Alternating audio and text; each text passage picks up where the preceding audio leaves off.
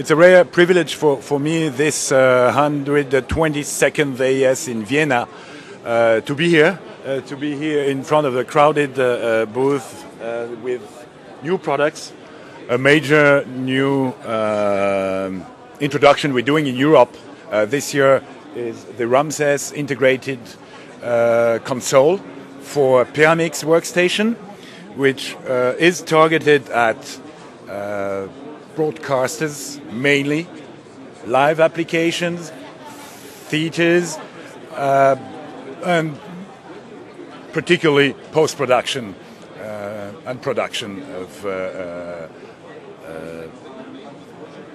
HD uh, material and in 5.1 uh, resolution. So, what we have here is a, a 24 fader uh, implementation Next to it is the edit panel that allows for editing.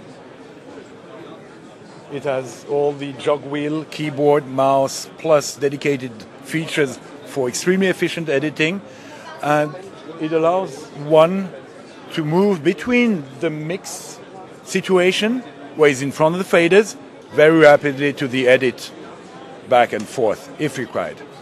This goes together with a new version of Pyramix, which is version 6.0 which brings radically increased number of channels and mixer sizes. So these are the two most exciting products. We have several others around this booth right now. Uh, one being Ovation, which is targeted for live application. It's a cue trigger sequence uh, application. This is particularly uh, targeted in combination with Ramses or without Ramses to theater, uh, live uh, segments of broadcasters, and more.